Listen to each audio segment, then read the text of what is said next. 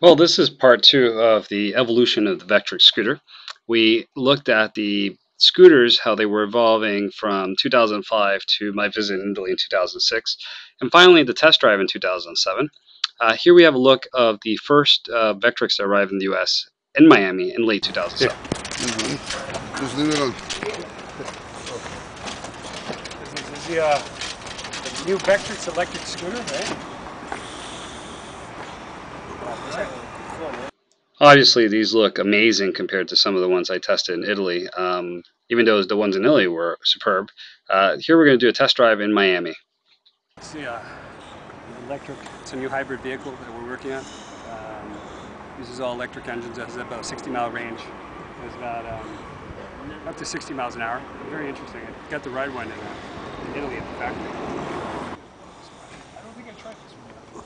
It's totally different from the one I tried in, in Carlos' house. Oh yeah. So we're gonna go turn it on. So switch on. Then we go left, left brake, right brake, release.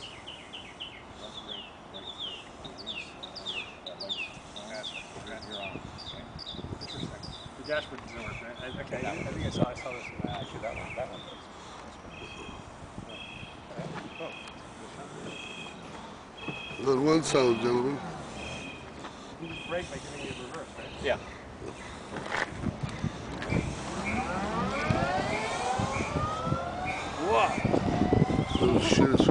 Anda más rápido que la que Jairo, son que.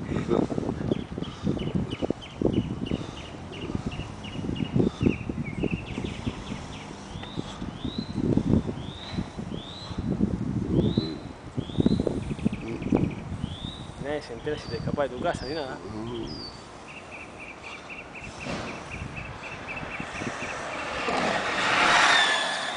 Uau!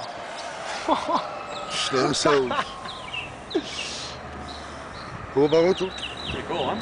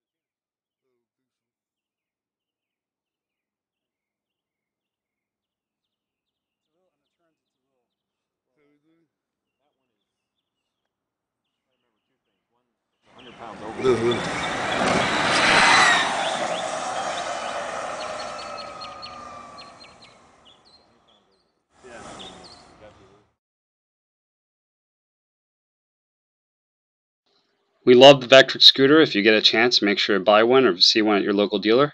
And visit us at mrp-speed.com.